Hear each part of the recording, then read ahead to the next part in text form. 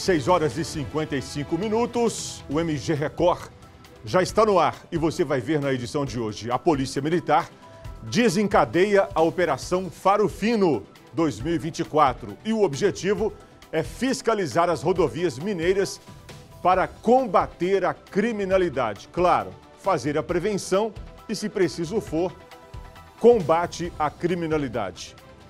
No Vale do Aço, idoso morre depois de cair em um buraco de 40 metros de profundidade que ele mesmo escavou dentro de casa.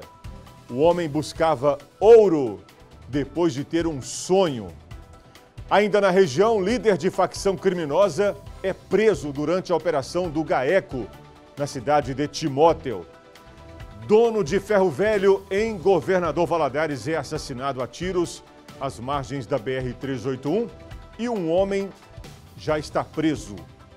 Agora no MG Record pela TV aberta e no Facebook da TV Leste, facebook.com barra TV Leste. MG Record